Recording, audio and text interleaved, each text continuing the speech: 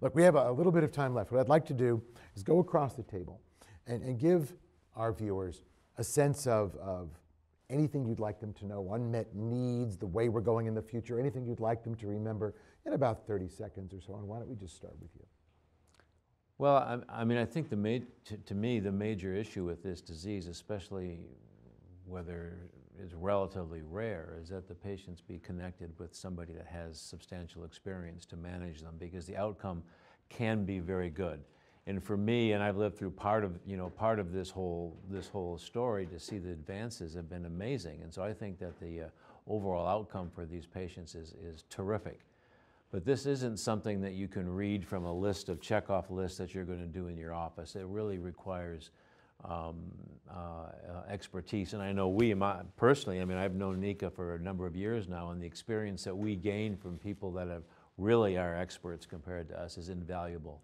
So I think that, I mean, I, I really feel that, and, and, and I think that this is really critical, but the outcome, eh, all that being said, with proper therapy is just really uh, amazing, I think, Yes. now. So definitely the stories change. I still believe that uh, we have to do some educational work in developing country where, as it was said at the beginning, uh, patients are not properly treated, and we have to be open to the new uh, treatment.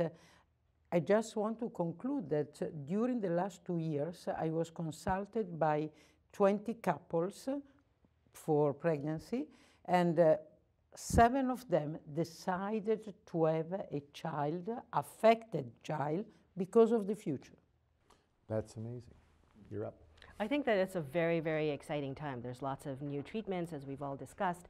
Um, but I, I think for the for the community um, hematologist, oncologist, as an adult provider, I think it's very important to continue to follow individuals with thalassemia, e- intermedia, even if they're not transfused, um, beyond just the hemoglobin. I think that was a key thing you need there's lots of complications uh, to monitor for. And i think stressing again reaching out to centers where there is um, a provider with experience in thalassemia uh, even if it's a once a year visit still connecting because there are complications that increase as individuals get older and sometimes it's too late.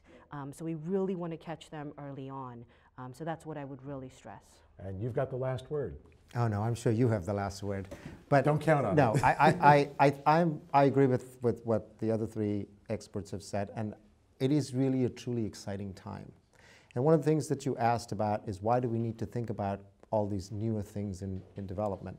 Because I think we need to have as many options as possible because even though everybody seems to lump patients with the same disease into one kind of cohort, these are individuals, these are people that have different needs in their lives, different approaches, and offering them varying options, I think, is really important. So it's an exciting time and it's only going to get better. I just want to thank all of you for taking the time out and, and joining us here today.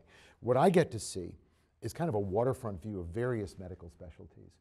And the takeaway I've got is that this is an exciting time, whether it's infectious disease and viral diseases, or it's beta thal, which I never thought I would hear a clinician say, respectable clinician say, we have a cure.